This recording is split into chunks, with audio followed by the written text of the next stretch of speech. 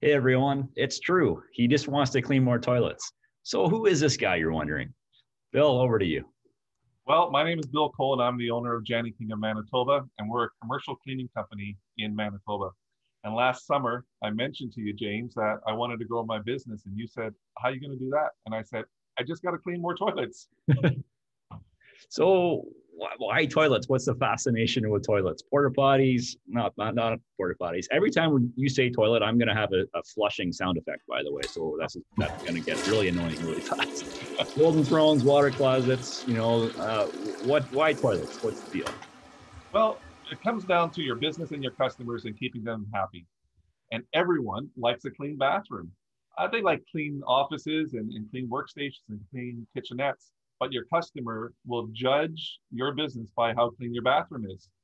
I mean, right now we clean all of those areas, but I got to clean more toilets. so you can't clean my house then? No, we are a commercial cleaning company only. In fact, we're one of Manitoba's largest commercial cleaning companies. We have over 500 customers, and we clean everything from general office space, car dealerships, restaurants, you name it, we clean it.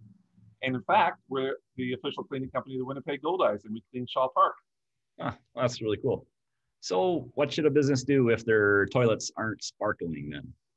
Well, we'll make it easy for you. Just click the button below, or you can call us at 204 989 5925, and we'll be happy uh, to give you a no obligation quote.